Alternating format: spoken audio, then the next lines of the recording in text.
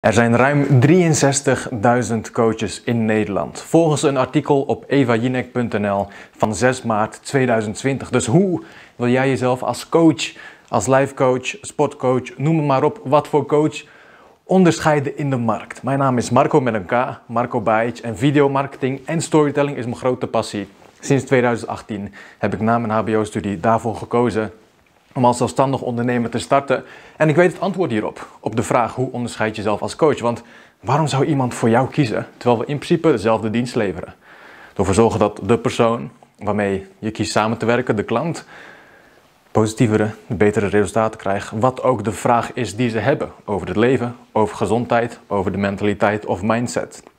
Het is anekdotes delen in videovorm. En ik wil je nu kort vertellen hoe en wat je jezelf kunt onderscheiden door eigen unieke verhalen te delen. Denk aan persoonlijke anekdotes, want in principe is alles al gezegd. Weet je, sinds 2016 luister ik naar, noem het maar op wat voor spreken, Tony Robbins, Oprah Winfrey, uh, Michael Pilarczyk, uh, Elliot Halls. Ik ga er nu allemaal even snel doorheen, Gary Vee, Grant Cardone, en misschien zelfs Ilko de Boer. Het maakt niet uit uh, wie of wat voor inspirerende spreker het is, of wat voor boek het zelfs is. Misschien ken je Think and Grow Rich. Ik denk een woord rijk als ik het goed vertaal. Die heeft onder andere Michael Pilarczyk, ook een inspirerende spreker met de app Meditation Moments, heeft hij ook uh, in het Nederlands vertaald. En dan leer je heel veel over een sterke mentaliteit, mindset hebben. Dus hoe dan? Hoe dan? Wat, wat willen we zeggen in zo'n video? Wat willen we zeggen online als coach? Hoe willen we onszelf onderscheiden? Nou, een persoonlijke anekdote. Hoe kies je iets uit je dag? Iets uit je leven, je verleden. Want in principe kun je zeggen: Ik ben mijn publiek. Want waarschijnlijk heb jij iets overwonnen. Een angst, een ziekte, een noem het maar op. En heb je daar een bepaalde oplossing voor gevonden. Toevallig coach ik iemand die waarvan je zou zeggen, die is 50 als je de foto zou zien van die dame. Maar ze is 68 en heeft een enorm erge ziekte overwonnen genaamd kanker. Waar? Bij het gebied bij vrouwen waar je niet liefst kanker wil hebben, bij de borsten. En ik respecteer haar zoveel, hè. Want ze zegt, ik ga pas met pensioen, ze is 68, wanneer ik in het graf lig. En dat vond ik een mooi inzicht. Dus hoe kan zij zichzelf als heldcoach nou onderscheiden? Nou, ze, ze vertelt haar verhaal natuurlijk. Je hebt je verhaal, je why, zoals ook weer de inspirerende leiderschapscoach en spreker Simon Sinek zegt. Je hebt je waarom, waarom doe je wat je doet. Maar dat is niet altijd hoe je onderscheidt. Want terwijl iedereen zijn of haar why aan het delen is, vertel jij jou hoe, de wie. Want de wie achter de waarom, de hoe achter de why, is waar het om draait. En ik weet, het is niet altijd even leuk om in de spotlight te staan. Geloof het of niet, ik ben introvert. En ik had mijn leven niet voorgesteld, dag in dag uit, een paar keer voor de camera te staan en zo een persoon, jij aan de andere kant van het scherm, toe te spreken. Ik wil niet in de hoofdrol staan, want het gaat niet om mij, het gaat om het de grotere missie die ik heb. Maar onthoud wel, ik word als middel ingezet om mijn missie uit te dragen. Want zonder mij is er geen why. Dus een persoonlijke anekdote. Ik pak mijn mobiel erbij. Ik pak mijn mobiel erbij. En ik geef je een voorbeeld van persoonlijke anekdote. En ondertussen schrijf ik dat op WhatsApp. Dus in een WhatsApp groep waar ik alleen zit, noteer ik ideeën die ik haal uit podcasts, uit interviews, uit noem het maar op. En dan koppel ik elke les, want, want ik kan tegen jou zeggen, hey, drie tips om gezonder te leven, A, B, C. Stuur me een, een DM, want ik kan je hiermee verder helpen. Nee, een persoonlijke anekdote. Dus hoe kunnen we kennis koppelen aan een persoonlijke anekdote, waarmee jij jezelf naast je why ook met de hoe onderscheidt. Want iemand kiest voor jou om wie je bent, niet alleen om het oppervlakkige. En dat is de wat, de wat je doet. Laat jezelf zien voor de camera. Wat meer. Presenteer over jezelf, heb het over jezelf met als doel. Het gaat om de ander. Ik laat je zien hoe. Nou, ik heb bijvoorbeeld uh, opgeschreven: als je onzeker bent, dan is alles persoonlijk. Nu doe ik dit al sinds 2018, dag in dag uit zonder pauzes. Video's opnemen, koppelen aan een persoonlijk verhaal, een duidelijke les voor de kijker. En dit is in principe de moraal van het verhaal. En dat is hoe jij je als coach kunt onderscheiden.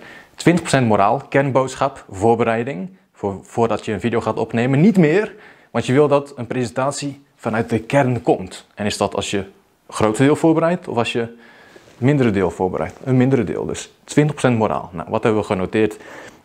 Als je onzeker bent, dan is alles persoonlijk. Oké, ik kan een video maken en zeggen: Als je onzeker bent, dan is alles persoonlijk. Je start negatief, dus ik zou dat niet doen. Daar kunnen we niet zo makkelijk tegen in deze generatie. Dus ik zou allereerst positief beginnen. En ook denken aan een verhaal wat hierbij past. Het is heel persoonlijk, het is heel herkenbaar. Het is het verhaal wat ik hierbij zou plakken. De 80% verhaal, de 20% moraal hebben we al. En ik weet, het gaat redelijk snel, maar het zal duidelijk zijn als je blijft afkijken. Oké, het verhaal wat ik plak aan het moraal is het verhaal van mijn verloofde. Een persoonlijke anekdote. Ik zou beginnen met: ik doe de handdoek terug aan de wand. En mijn verloofde komt naar me toe en ze wordt boos en zegt: Waarom zet je weer verkreukeld terug?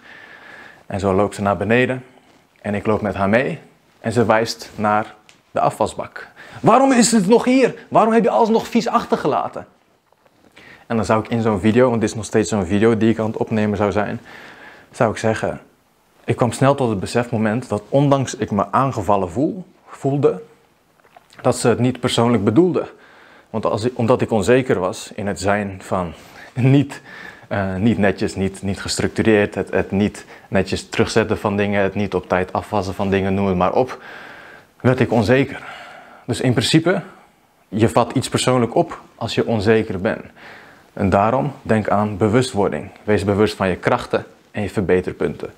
Einde video. En wat ik hier heb gedaan is, ik heb vanuit de kern gepresenteerd. Dit heb ik niet voorbereid. Ook heel dit bericht, deze video, bereid ik ook niet grotendeel vol uh, voor. Ik heb wel bijvoorbeeld de moraal. Nou, 63.000, ruim 63.000 coaches zijn er in Nederland. Van het artikel van de website, we noemen de bron natuurlijk, de logos, de logica. Zo zorg ik ervoor dat ik wat betrouwbaarder ben. En dan ga ik door met een persoonlijk verhaal. En nu wil ik ook jou uitdagen. Noteer jij ideeën? Wist je dat we gemiddeld 3000 ideeën per wakker uur hebben? Dan waarom deel je ideeën niet? Waarom kies je voor je doelgroep, je toekomstige klant, wat zij wel of niet willen zien in een video als coach? Dat wil je niet doen. Je kunt niet invullen voor een ander wat hij interessant vindt. Terugkomend op wat ik zei, ik ben mijn publiek. Is ook handig voor jou om te denken. Want natuurlijk, ik heb mijn camera-angst overwonnen. Ik haal er persoonlijke en zakelijke groei uit. Denk aan gemiddeld 10 connectiebezoeken per week. En dan hoe volg je die dan op? Ook met persoonlijke videoboodschappen op LinkedIn bijvoorbeeld. Weet je, dus ik ben mijn publiek. En ga terug naar wat je tegen je oude ikke zou zeggen. De kernboodschap, het verhaal. Zo onderscheid je jezelf. Ik wil je uitnodigen als coach. Als je dat bent of wilt worden, of het interessant vindt om inspirerend te spreken, vergeet niet te abonneren op mijn YouTube. En nog is de video niet klaar. Waarom? Ik wil het hebben over het stukje life coaching. Life coach. Hoe kun je een life coach zijn als je nog het leven niet geleefd hebt, bij wijze van? Vond ik een inspirerende zin. Ik weet niet van welke spreker. Maar ik moet snel denken aan mijn ouders. Die verscheurd zijn door oorlog. Mijn moeder hoorde, je kunt nooit zwanger raken. Van de doktoren. Ze maakte twee keer het onmogelijke mogelijke. Eén keer met mijn zus, één keer met, met mij. Tijdens het vluchten raakte mijn moeder zwanger. Tijdens het vluchten vanuit het land voormalig Joegoslavië, vanuit Bosnië naar Nederland, raakte mijn moeder dus de tweede keer zwanger, toen was ik het. Kwamen we in Nederland aan en hebben zij onwijs veel meegemaakt. Een, een cultuurshock, een taalbarrière doorbroken, noem het maar op. Een oorlog meegemaakt. En dan zie ik eh, coaches in Nederland die onwijs veel kennis hebben. Hè? Onwijs veel. En daar anderen al zoveel mee helpen, maar niet bijvoorbeeld een oorlog hebben meegemaakt. En natuurlijk hoef je niet een oorlog mee hebben gemaakt, te hebben gemaakt om een life coach te zijn. Maar ik wil hier wel op attenderen dat Jij weet het leven wat je hebt meegemaakt. Een ander niet. Jouw kringen, jouw klanten, jouw vrienden, jouw, jouw kleine wereld en ook mijn kleine wereld, die weet wat we hebben meegemaakt. Maar elke video die je op social media post, is een nieuwe video waarin je je ethos, je ethiek, je normen en waarden wilt bewijzen. De wie, de hoe, wie ben jij? Waarom zou ik iets van jou als coach aannemen? Omdat jij de kennis hebt. Nou, ik heb ook de kennis. kennis. En als je in de wereld zit van coaching, dan weet je, de meeste mensen hebben de kennis. In principe is op alles het antwoord doen en aanpassen. Een keuze durven te maken en structuur eromheen. That's it. Dus hoe onderscheid je jezelf? Met de wie. En ik wil je uitnodigen, wil je kort hieronder beschrijven wie je bent. Wat je doet is makkelijk, maar wie ben je in het wat je doet? En ik lees je reactie graag. Reconstruct yourself.